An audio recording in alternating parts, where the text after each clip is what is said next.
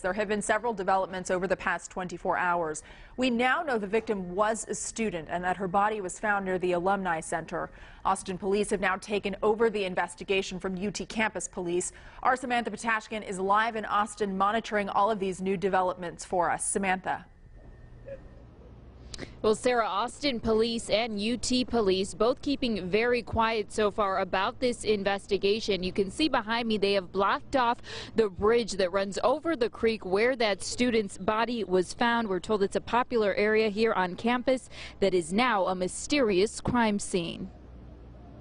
We cried all day yesterday. It was just, we're a family and we love each other. Jalen Blond and her fellow dance and theater majors are worried sick about one of their own. She's been missing since Sunday and we all know about it. We've all been trying to post it on Facebook and trying to get the word out. They're hoping and praying their missing friend isn't the woman whose body was found in a creek Tuesday behind the UT Alumni Center.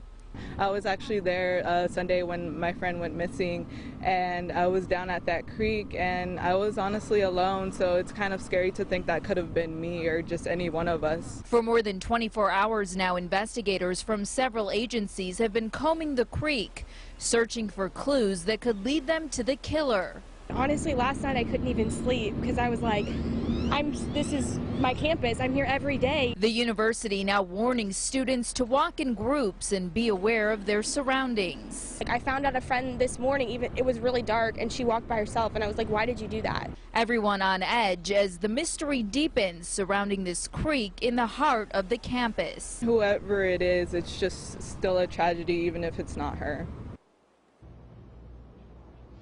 And tonight, the university will be providing extra shuttles for any dance or theater students who have evening rehearsals. That's because the theater building is actually right across from the creek where that body was found. Again, university officials just urging all of the students and staff members here not to go anywhere alone.